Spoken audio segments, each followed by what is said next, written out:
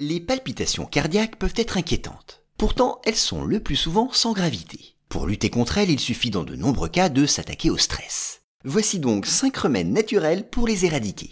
D'abord, il convient bien entendu d'éviter de consommer des excitants, comme le café, le thé ou certaines boissons gazeuses. De même, l'alcool et le tabac peuvent en être à l'origine.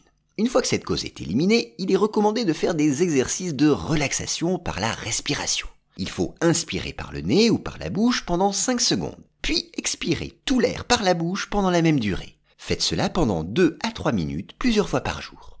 Il est par ailleurs recommandé de boire des infusions d'aubépine. Versez une cuillère à café de fleurs sèches d'aubépine dans une tasse d'eau bouillante, à boire jusqu'à 3 fois par jour. À noter que pour ressentir les premiers effets, il faut attendre 6 semaines.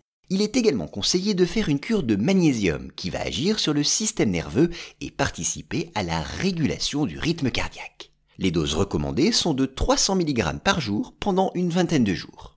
Ensuite, en raison de ses vertus relaxantes et apaisantes, l'huile essentielle d'ylang-ylang peut agir directement sur le cœur. Vous pouvez en inhaler en versant deux gouttes sur un mouchoir ou une goutte sur chaque poignet que vous respirerez pendant quelques minutes.